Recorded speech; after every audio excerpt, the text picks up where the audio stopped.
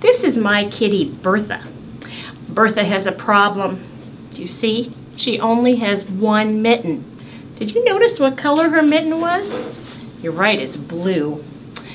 Well, my poor little kitten lost her mitten and she started to cry boo-hoo.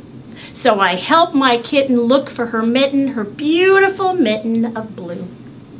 I found a mitten just right for a kitten under my mother's bed. But alas, the mitten is not the right mitten. It's the color red, you're right. Well, I found a mitten just right for a kitten under my father's pillow. But alas, my mitten is not the right mitten. It's the color yellow. I found a mitten just right for a kitten in the grocery sack. But alas, my mitten is not the right mitten. It's the color black.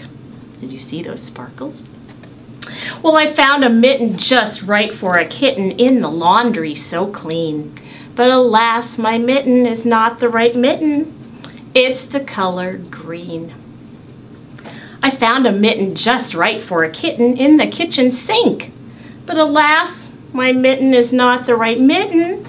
It's the color pink.